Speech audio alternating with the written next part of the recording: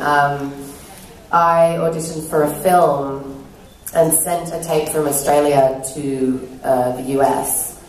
That tape, a year later, made it to uh, the people who created The Hundred. And then they said, that's our girl, and I got the role from a completely different movie. so that's how I got it. I guess so.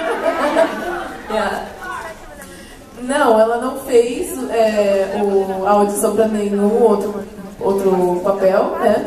Mas foi de um jeito muito estranho, na verdade, que ela fez, é, ela fez a audição para um filme um ano antes, né, na Austrália. Só que esse, esse essa audição para esse filme foi parar na, na mão dos produtores de, de The Hundred, né?